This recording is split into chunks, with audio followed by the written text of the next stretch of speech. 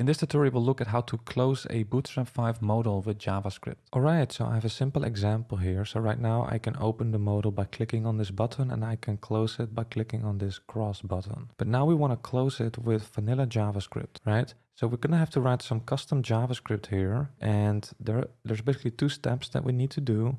Right, so by the way, it's really important that you have mastered JavaScript and CSS if you want to work with Bootstrap. I have courses on them. If you want to take them to a professional advanced level, check out the links in the description. But first we have to get a reference to the modal. So I have the modal here in the HTML. You can ignore everything else. It's right here. And I just collapsed this because there's quite a bit of HTML. It has an ID of booking modal. So first we need to get a reference. So what we can do is we can say const my modal, and then we can use one of uh, Bootstrap's classes actually. It's going to look a little bit strange because um, we don't really have object-oriented code that much these days anymore in, in just vanilla JavaScript like this. Um, but that's how Bootstrap um, has has uh, done it. So here we have to use that ID, right? So we say new bootstrap.modal and then we get um, a reference to that modal. It's not going to be an object um, stored in this my modal uh, variable, right?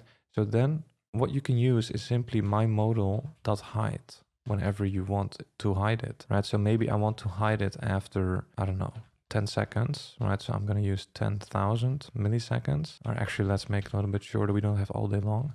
Let's make it three seconds. So I'm going to quickly open it up and then we're going to wait a couple seconds and see if it actually closes it. So I'm going to refresh the page, going to open it up and now we're going to see if it, if it isn't, yeah. So you can see it closed, right? So I'm going to reload the page, open it up quickly after three seconds, it, it closes it, right? So what does not work, by the way, right? So this should actually be step two here, right? Right, so a, a mistake that many people make is they use something like um, document, get element by ID, right? Booking modal, and then, you know, you get some, uh, you get, you store the element in here, and then they try to do that on that element or, or, or on that variable. This will not work, right? So this will not work.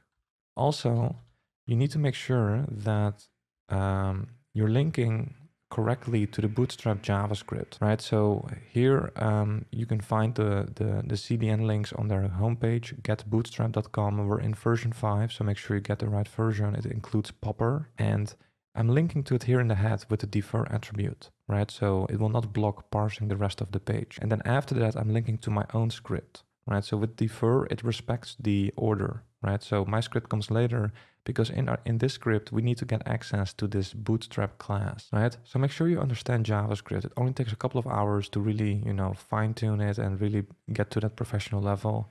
So check out my course on that. Um, you can get a, you can get a reference to the modal uh, differently as well. There's another uh, method actually, which is the following. You can also just use bootstrap.modal.get or create instance and then you still have to use that ID.